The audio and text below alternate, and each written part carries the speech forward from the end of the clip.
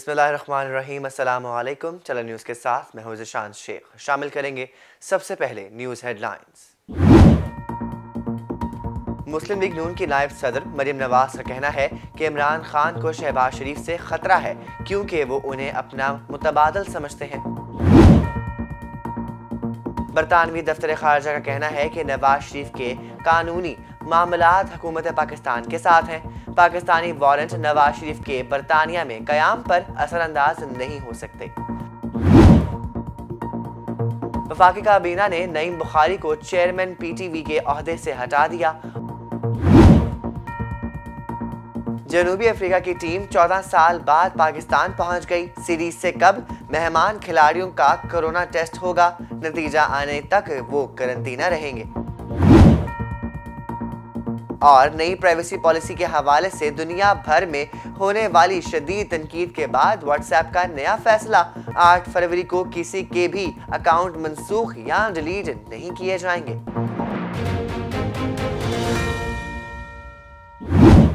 Headlines आपने जानी, अब खबरों की तफसील। मरियम नवाज़ का कहना है कि अभी इमरान खान के कुछ हवारियों के इस्तीफे आए हैं।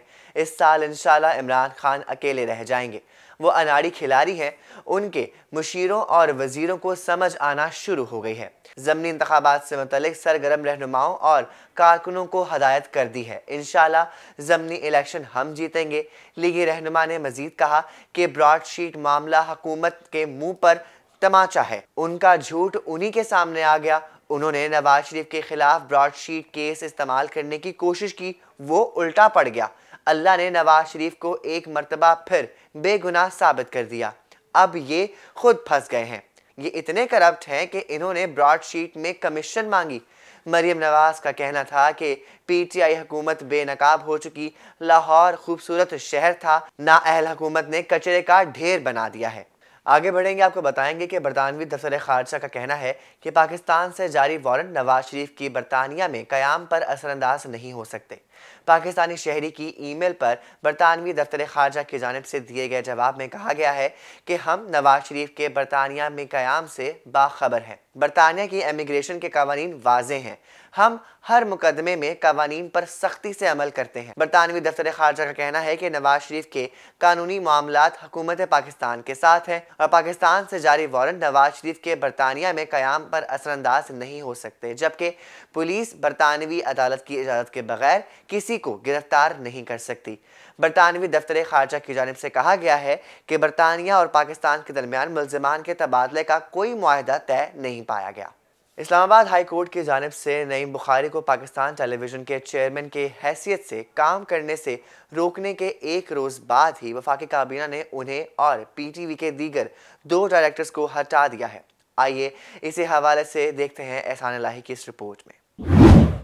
इस्लामाबाद हाई कोर्ट की जानब से नईम बुखारी को पाकिस्तान टेलीविज़न के चेयरमैन की हैसियत से काम करने से रोकने के एक रोज़ बाद ही वफाकी काबीना ने उन्हें और पीटीवी के दीगर दो डायरेक्टर्स को हटा दिया। एक तरफ़ काबीना ने उन लोगों को अहदे से हटाया, वहीं नईम बुखारी की जानब से मुअत्तल किए गए M D P T V Aamir Manzoor को दोबारा बहाल कर दिया गया। इस मामले पर वफाकी वज़ीर science and technology Fawad Chaudhry का कहना है कि काबीना ने सर्कुलेशन के ज़रिए ये फैसला किया, जिसमें नईम बुखारी और दीगर दो डायरेक्टर्स को हटाया गया। और उसकी वजह ये थी कि ये पैंसठ बरस से जायद उम्र के हो चुके थे। उन्होंने कहा कि दर हकीकत इस्लामाबाद हाई कोर्ट ने हुकूमत से कहा था कि इन बोर्ड ऑफ़ डायरेक्टर्स को हटाएँ, जिनकी उम्र पैंसठ साल से ज़्यादा है। लिहाजा काबीना ने नईम बुखारी और दीगर दो डायरेक्टर्स को हटा दिया है। जब उनसे पूछा गया कि काबीना का बाकायदा इजलास बुलाने के बजाय सर्कुलेशन के ज़रिए जल्दी में फैसला क्यों लिया गया तो उनका कहना था कि हुकूमत को फैसला करना पड़ा, क्योंकि इस वक्त पीटीवी का कोई सरबरा नहीं, और इसे अफरा तफरी जैसी सूरत हाल का सामना है। उन्होंने मजीद कहा कि आमिर मंजूर, जिन्हें नईम बुखारी ने पीटीवी के मैनेजिंग डायरेक्टर के अहदे से हटाया था,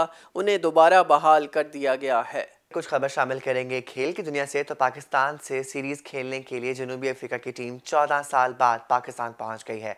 जनूबी अफ्रीका की टीम 2007 के बाद पहली मरतबा पाकिस्तान पहुँची है और 14 साल बाद पाकिस्तानी सरजमीन पर क्रिकेट खेलेगी, जबकि टीम के हमरा जनूबी अफ्रीका के ऑफिशियल्स भी कराची पहुँचे हैं। मेहमान टीम पाकिस्तान के खिलाफ दो टेस्ट और तीन टी ट्वेंटी मैचेस खेलेगी, लेकिन सीरीज़ से कब मेहमान खिलाड़ियों का कोरोना टेस्ट किया जाएगा और नतीजा आने तक वो करंतना करेंगे।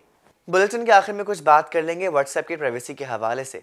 तो नई प्राइवेसी पॉलिसी के हवाले से दुनिया भर में होने वाली शदीद तनकीद के बाद व्हाट्सएप ने इसकी फौरी इतलाक का सिलसिला मौखर करते हुए ऐलान किया है कि 8 फरवरी को किसी का भी अकाउंट मनसूख या डिलीट नहीं किया जाएगा।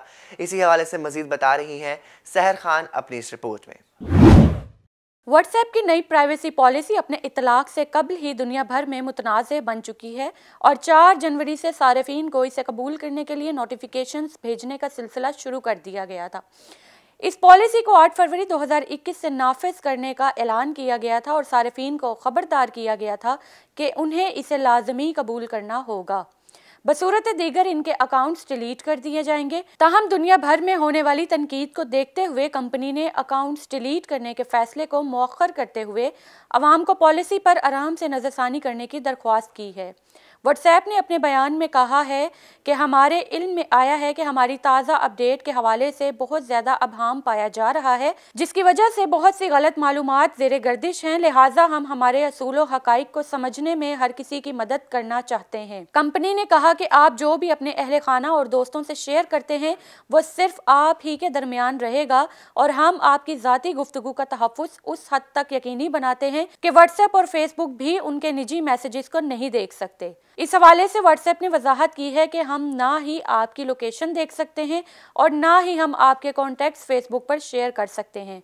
उन्होंने दो टोक अल्फाज में कहा कि ताज़ा अपडेट्स के नतीजे में उसमें से कुछ भी तब्दील नहीं हो रहा, बल्कि इसके नतीजे में आवाम को नए ऑप्शन दस्तियाब होंगे, जबकि ये उस हवाले से मज़ीद शफाफियत भी फराहम करेगा कि हम किस तरह से डेटा इकट्ठा करते हैं।